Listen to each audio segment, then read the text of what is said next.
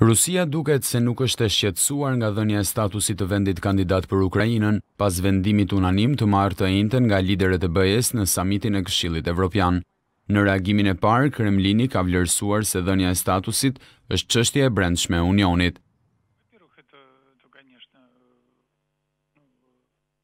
Këto janë çështje të brendshme të Evropës.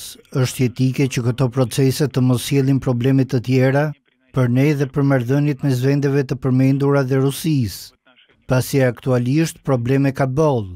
Është me rëndësi të mos shkojmë drejt përkeqësimit të mëtejshëm të marrëdhënieve me BE-në, sepse një gjë e tillë është shumë e lehtë.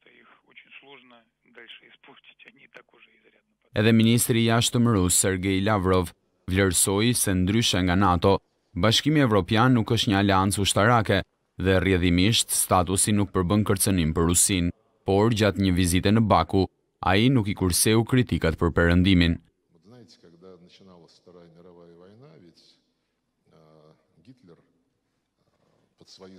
Kur filloi Lufta e Dytë Botërore, Hitleri dhe kabineti i tij mblodhi pjesën dërmuese të vendeve evropiane për të sulmuar Bashkimin Sovjetik.